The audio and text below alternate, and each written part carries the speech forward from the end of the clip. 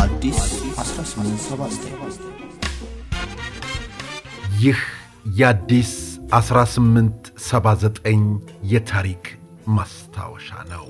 በ1966 ዓ ም የለውጥ ንፋሱ እየነፈሰ ባለበት ወቅት ወታደሩም በያቅጣጫው ዐመፅ ጀመረ።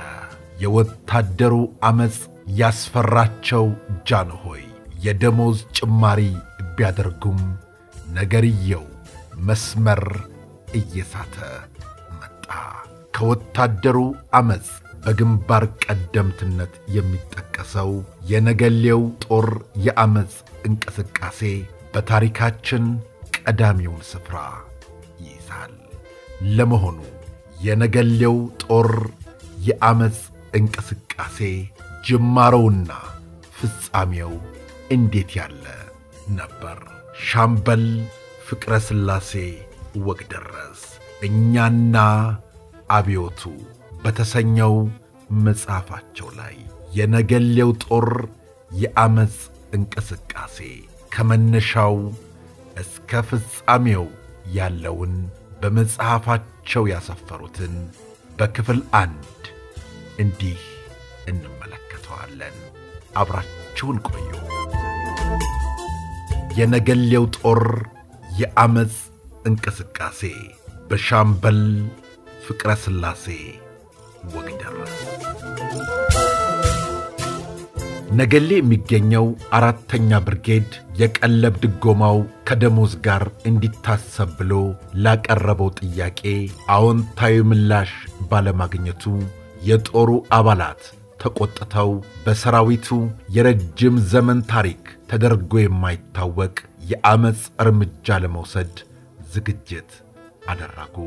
በወቅቱ የብርጌዱ አዛዥ የነበሩትን ኮሎኔል ፍቅሩ ወልደ ተንሳይን ጦሩ ስለሚወዳቸውና ስለሚያከብራቸው እኛ በምንወስደው ያልተጠበቀ እርምጃ በእርስዎ ላይ የማይፈለግ መጉላላትና ጉዳት እንዳይደርስቦ በፈቃድ ወይም በሥራ አመካኝተው ወደ አዲስ አበባ እንዲሄዱ ሲሉ የጦሩ አባላት ሐሳብ አቀረቡላቸው። ኮሎኔል ፍቅሩም በቀረበላቸው ሐሳብ ተስማምተው ወደ አዲስ አበባ ሄዱ። ኮሎኔል ፍቅሩ የጦሩን ሰፈር ለቀው እንደሄዱ የብርጌዱ ጦር በሙሉ ተሰብስቦ በሚደርስበት የአስተዳደር በደልና ባስከፊው የኑሮ ሁኔታ ላይ ሰፊ ውይይት አድርጎ ችግሩ እንዲወገድለት የዐመፅ እንቅስቃሴ ከማድረግ ውጭ ሌላ አማራጭ እንደሌለው ተማመነ። ታኅሳስ 7 ቀን 966 ዓ ም የጦሩ አባላት ከአዛዦቻቸው ቁጥጥር ውጭ ሆነው በታሪካቸው ለመጀመሪያ ጊዜ ለዐመፅ ተግባር ከግምጃ ቤት የጦር መሣሪያ አወጡ። ከዚህ በኋላ በጦሩ ሰፈር የሚገኙትን መኮንኖች በሙሉ አሰሩ። በብዙ የጦር ሰፈሮች ሲብላላ የነበረው የወታደሮች የዐመፅ እንቅስቃሴ በይፋ በነገሌ ተጀመረ። የነገሌ ጦር ቀደም ብሎ ላቀረባቸው ጥያቄዎች አጥጋቢ ምላሽ ለማግኘት ሲል የብርጌዱን መኮንኖች በቁጥጥር ስር መዋሉን ለጦር ክፍሎች ሁሉ አሳወቀ። ጅጅጋ ያለው የአስረኛ ሜካናይዝድ ብርጌድ ቅድሚያ ወስዶ የነገሌ ጦር የወሰደውን አቋም ደግፎ ተነሣ። ከዚያም በተከታታይ የተለያዩ የጦር ክፍሎች ድጋፋቸውን ሰጡ። የነገሌ ጦር ማመፁና የተወሰኑ ጥያቄዎች ማቅረቡን የመከላከያ ሚኒስትር የነበሩት ጀኔራል ከበደ ገብሬ ሲሰሙ ከመጠን በላይ ደነገጡ። ምን ማድረግ እንዳለባቸውም ማሰላሰል ጀመሩ። መከላከያ ሚኒስትሩ ለተፈጠረው ችግር ብቻቸውን ምላሽ ለመስጠት እንደማይችሉና የሚገጥማቸው ቁጣ በጣም አስፈሪ መሆኑን ቢገነዘቡም የተፈጠረውን አሳሳቢ ሁኔታ በግድ ለንጉሡ ማሳወቅ እንዳለባቸው አመኑ። የነገሌ ጦር ማመፁንና መኮንኖቹን ማሰሩንም ለንጉሡ ንጉሡ ይፈጸማል ብለው ያልጠበቁትን የጦር አድማ ዜና ሲሰሙ መናደዳቸውና መቆጣታቸው የማይቀር ቢሆንም የተፈጠረው አስጊ ሁኔታ በሌሎች የጦር ክፍሎች እንዳይዛመት በእንጭጩ ለመቅጨት ምን መደረግ እንዳለበት ለመወሰን ጉዳዩ ከሚመለከታቸው ባለሥልጣናት ጋር ውይይት አደረጉ። በውይይቱ መጨረሻ በአንድ ከፍተኛ የጦር መኮንን የሚመራ ቡድን በመላክ የጦሩ አባላት መኮንኖቹን ማሰራቸው ንጉሡን እንዳሳዘንና እንዳስቆጣ በማስረዳት እንዲያስፈታና የእዝ ሰንሰለቱም እንደ ቀድሞ ተጠብቆ እንዲቀጥል ማድረግ የተሻለ አማራጭ ሆኖ ተገኘ።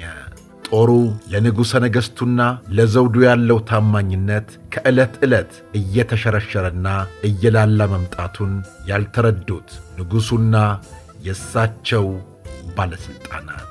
ድርጊቱ ንጉሡን አሳዝኗል። ስለተባለ ብቻ የታሰሩትን መኮንኖች ማስፈታት ይቻላል፣ የአድማውንም አነሳሾችና መሪዎችን እንቀጣለን ብለው በማመን በጀኔራል ድረሴ ዱባለ የምድር ጦር አዛዥ የሚመራ ቡድን በታኅሳስ 23 ቀን 1966 ዓ ም ወደ ነገሌ ተጓዘ።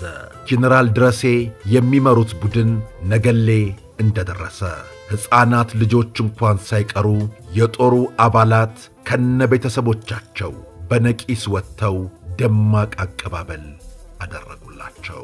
ከአቀባበሉ ሥነ ሥርዓት በኋላ የሰራዊቱ አባላት ከነ ቤተሰቦቻቸው በተሰበሰቡበት ሜዳ የቡድኑ አባላት ተገኝተው ስለ ተልእኳቸው ዓላማና ንጉሡ ስለ ተሰማቸው ቅሬታ ሰፊ ገለጣ ካደረጉ በኋላ ጦሩ ለምን መኮንኖቹን እንዳሰረ፣ ምንስ ችግር እንደገጠመው እንዲያስረዳ ጠየቁ። ጦሩ ቀደም ብሎ የሚያስተባብሩትና ቅሬታውንም ለሚመጣው የመንግሥት መልእክተኛ የሚያስረዱለት አባላት መርጦ ዝግጅት አድርጎ ስለነበር በተወካይ አማካይነት ዝርዝር መግለጫ እንደሚከተለው ተነበበ። አንደኛ ሰራዊቱ ዕለት በዕለት የሚጠጣው ያልተጣራ ውሃ ያውም ነዳጅ ካለ በ30 ኪሎ ሜትር ከሚገኘው የገናሌ ወንዝ በቦቴ እየተመላለሰ ሲሆን ነዳጅ በማይኖርበት ጊዜ ግን በኩሬ ተጠራቅሞ የሚገኝ የተበላሸ ውሃ ለመጠጣት ስለሚገደድ የሰራዊቱ አባላት ከነቤተሰቦቻቸው በውሃ ወለድ በሽታ እየተሰቃዩ ከመሆኑም በላይ በርካታ ሰዎች ለሞት አደጋ ተጋልጠዋል። ስለዚህ ይህን ችግር ለማቃለል ቧንቧ ተዘርግቶ የተጣራ ውሃ እንዲቀርብልን። ሁለተኛ የሚቀርብልን የጤፍ ዱቄት በከፊል ከአሸዋ ጋር የተቀላቀለ ከመሆኑም በላይ የተበላሸና የተበከለ ስለሆነ ምንም ምርጫ ስለሌለን በግዴታ እንመገባለን። በዚህም የተነሳ በጤንነታችን ላይ ከፍተኛ ቀውስ አስከትሏል። ስለዚህ የቀለብ አቅርቦቱ ተሻሽሎ ንጹሕ የጤፍ ዱቄት እንዲቀርብልን።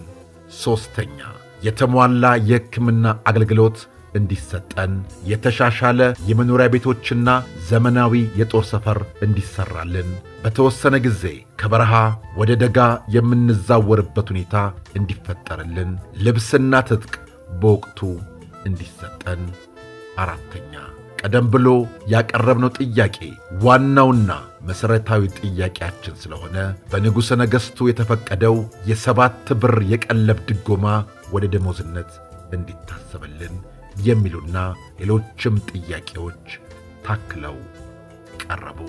ጄኔራል ድረሴ በንባብ የተሰማውንና በጽሑፍም የተሰጣቸውን ዝርዝር የጦሩን ጥያቄዎች በአግባቡ አመዛዝነውና ከበላይ አካልም ጋር ተመካክረው በጥናት ላይ የተመረኮዘ መልስ መስጠት ሲገባቸው በንቀትና በትዕቢት እናንተ ያቀረባችሁትን ጥያቄዎች ፍጹም ለማሟላት የሚቻል አይደለም፣ የሚጠይቀው ገንዘብ በጣም ብዙ ስለሚሆን መንግሥት ይህንን ያህል ወጪ ለመሸፈን አይችልም።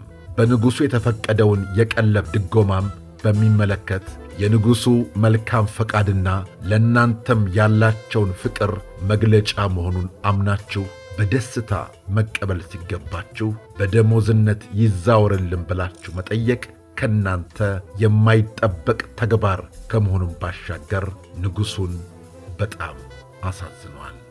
ይህም ሆኖ አንዳንድ ጉዳዮች በአግባቡ ወደፊት የሚታዩ ሲሆን አሁን ግን ያሰራችኋቸውን መኮንኖች በአስቸኳይ ፈታችሁ ወደ መደበኛ ተግባራችሁ እንድትሰማሩ ብለው በጦሩ የበላይ አዛዥነት ሥልጣናቸውና በንጉሡ መልእክተኛነታቸው ተማምነው ተናገሩ። ከዚያስ በኋላ ምን ሆነ?